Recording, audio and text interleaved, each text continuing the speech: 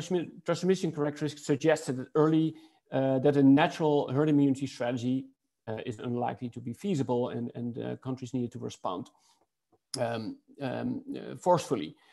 Um, underlying dynamics of the pandemic. And so this paper's goal was at that time in, in February, March, uh, to address some of these dynamics, um, dynamic questions that help guide decision makers towards longer term, high leverage strategies. And to illustrate this need, shows that France was really only uh, able to test the, the severe high end cases, and therefore um, they only captured you know, the, the, a small fraction of the cases, um, leading um, to, to less effectiveness to um, suppress contact, social context of infected cases, um, leading you in, in, in, turn to, to get further behind with your testing capacity. Now, it is not enough to just show that fit to the data. What helps us build confidence in the results are a few additional tests. First is some out of sample predictions that estimate uh, the models um, up to the data up to August 10th and then predict until November 1st. They show reasonable uh, overall fit for the longer term projections, but also with several uh, significant deviations you can see.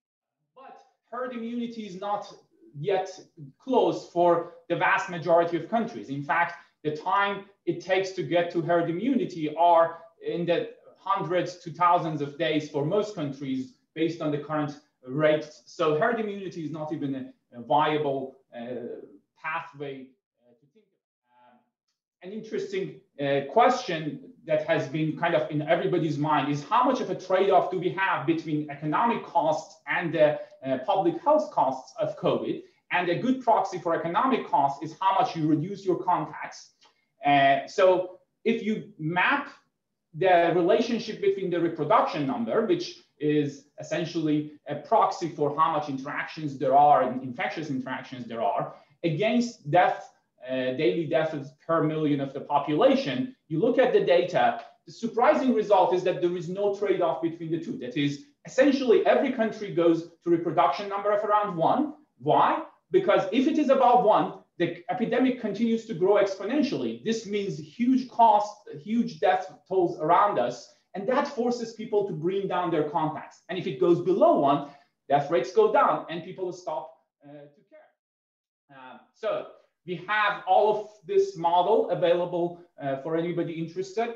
Uh, on an online simulator, we have added a vaccination sector to the model that allows you to change and see how changes in responsiveness and vaccination can impact the uh, forward-looking trajectory of the epidemic, as well as the backward. You can see the quality of the fit with data.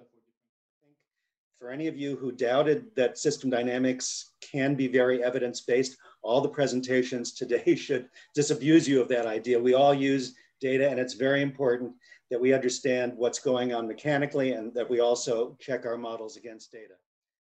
Is that, you know, comparing, uh, uh, looking at the other models that were available uh, from uh, Princeton, from Harvard, from Yale, you know, many of them lack endogenous uh, social behavior. And so they can reliably project only about one month. And they and the, the, the modelers say, well, you, you can't possibly project past one month.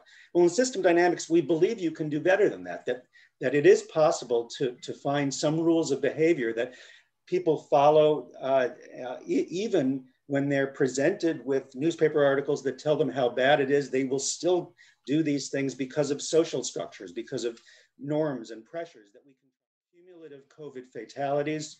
Uh, with January of 2020 through January of 2022. Uh, here is January of 20, th this is where we are right now. And you see these four different scenarios um, uh, resulting in different uh, amounts of, of uh, death.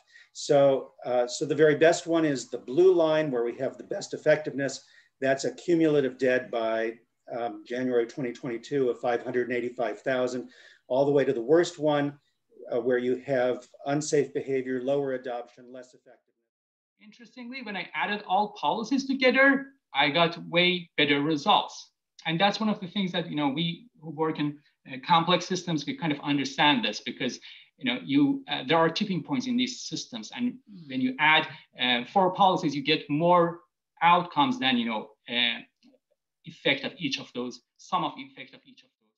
I want to reflect on what is going on uh, in, the situation of COVID-19. I would say that this problem has been so complex that needed including communities, needed including uh, data, and it needed uh, having models that address behavioral challenges that we see and uh, they affect the transmission of the disease.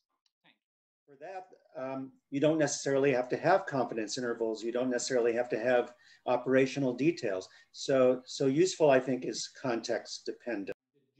Case, I think the long-term trajectory of these epidemic models usually fail uh, to be easy to predict because the behavioral responses that change the infectivity and transmission rates are not fully predictable. Now, the models that do have endogenous uh, behavioral responses do a better job. And I think that's what we see across all of the models that uh, we saw today that allow you to predict, to project for a few months ahead with reasonable success. But is very important, and that's about if we want to fix uh, the society. So if our model is projecting something bad, so if I'm modeling, my model projects that something bad that's happening in universities, if I've done a good job, actually I should make uh, the society move in a direction that my prediction becomes wrong, right? So I should have a good impact so we move in the correct direction. That doesn't mean that my model was bad, but I actually did a good impact on the society to move it in the want to thank you, um, Navid, Hazhir, Jeroen, and Jack for a very informative session and um, welcome you all to join us for future seminars, which will be happening next year. Also want to point out that we're in the renewal season right now, and one of the major benefits of um, membership is free access to all seminars. This was special because we have a commitment to allowing free access to COVID seminars, but uh, the remainder of our, our seminar series are a member benefit. So we, we hope that you'll join us for that.